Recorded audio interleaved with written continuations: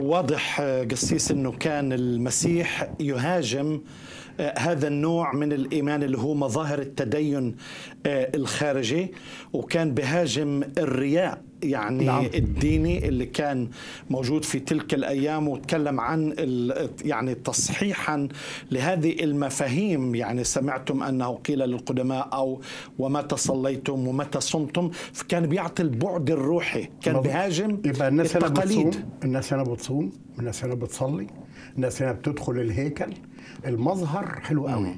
الشكل العام كل الناس يقولوا لكن يسوع نفسه لم يأتمنهم على نفسه على ليه؟ نفسه لأن في سفر أرميا يقول إن الرب فاحص القلوب نعم. ومختبر الكلى نعم. أنا مش هقدر أخدعه أيوة ممكن أخدع نفسي لأن القلب أخدع من كل شيء وهو, وهو نجيس لدرجة إن ممكن القلب يخدع الإنسان نفسه. مم.